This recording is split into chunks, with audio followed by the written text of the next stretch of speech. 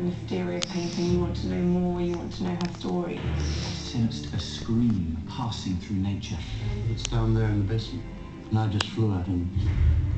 It's probably the most valuable painting ever to go missing. The girl with the pearl earring disappeared for hundreds of years. They left a note saying thank you for your terrible security. Raiders of the Lost Art. Back-to-back new episodes Wednesdays at 10. Only on Ovation.